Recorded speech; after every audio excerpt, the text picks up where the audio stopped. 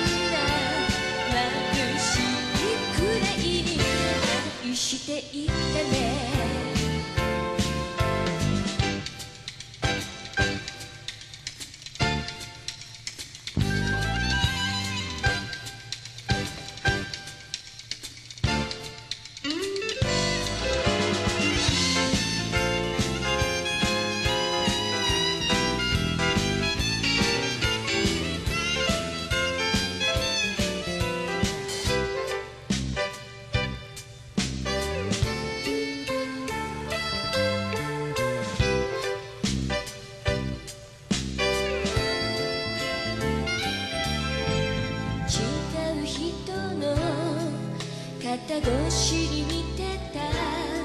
時の夜空に降り続く思い出の粉雪を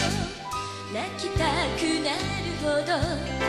優しくなれるのは二人のこと大切だからクリスマスウーティーネイスリームあなたが来る